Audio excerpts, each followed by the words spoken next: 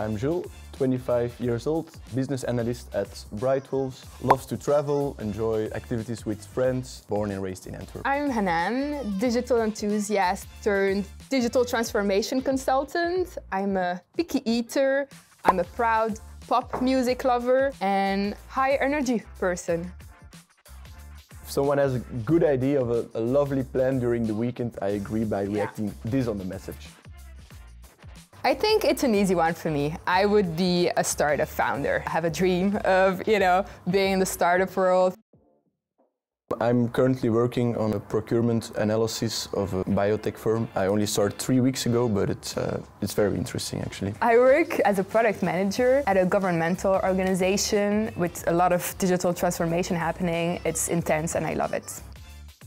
I would say Le Fou Chantant. It's a restaurant in Brussels where you just like sing and you sang a song.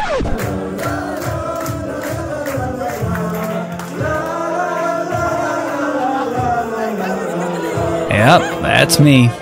I do remember it was just a crazy good atmosphere with the whole team. And I sung I Will Survive, very good song. but my favorite memory is the, the ski trip, especially the, the après ski was wonderful. If you didn't join this year, you have to join uh, next year.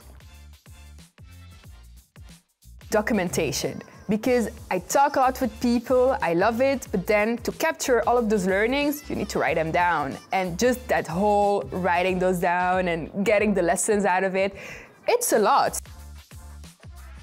False. It's important to make slides about your ideas and to structure your thoughts, but it's way more than that and it's understanding the people, analyzing their business and not just uh, making slides. What do you think?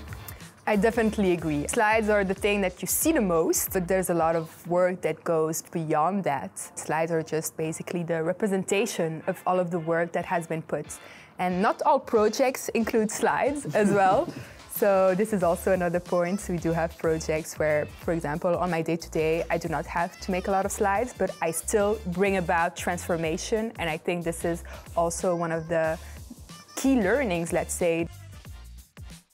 False. For me, in the beginning it was quite hard to find a good rhythm, but with a good planning, it's easy to do sports, to have dinners with friends. So currently I have no issues with my work-life balance. For me as well, you do work a lot. Sometimes you do have to put in more hours, but I think it's really important to have again that, that life balance where you prioritize uh, yourself a bit more. And I think BrightWolves is an environment that promotes that. So I think we're definitely good on that point.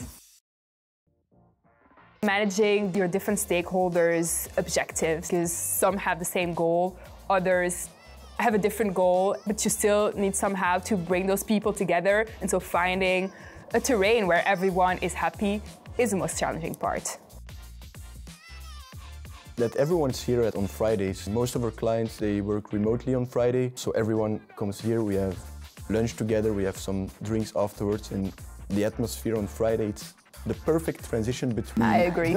working and the weekend. So working remotely or in the office? Office. Elevator pitch or detailed report? Detailed report. Solo or team project? Team. Quick wins or long-term dedication? Quick wins. Structured planning or spontaneous creativity?